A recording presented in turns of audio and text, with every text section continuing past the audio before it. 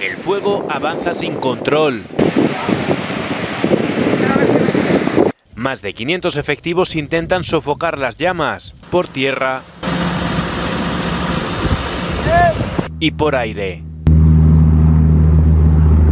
Cinco municipios han tenido que ser desalojados a 150 metros de casa y la situación es esta. y hay más de 800 personas evacuadas. Llevo desde las 7 de la mañana sin que me eva- evacuaron y no he vuelto a subir. No sé cómo, cómo estará aquello. Con mucha incertidumbre y preocupados y también pues con pena. Impotencia, rabia, dolor, mucha dolor.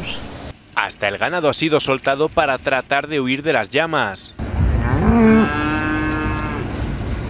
Cinco carreteras permanecen cortadas al tráfico y se calcula que podrían ser más de 10.000 las hectáreas calcinadas. La columna de humo se deja ver y sentir en Ávila. Y aquí literalmente está lloviendo ceniza. El olor a quemado es impresionante. pero también a varios cientos de kilómetros, como en Madrid. Las fuertes rachas de viento y las altas temperaturas dificultan la extinción Mi casa está ahí. De un incendio fuera de control.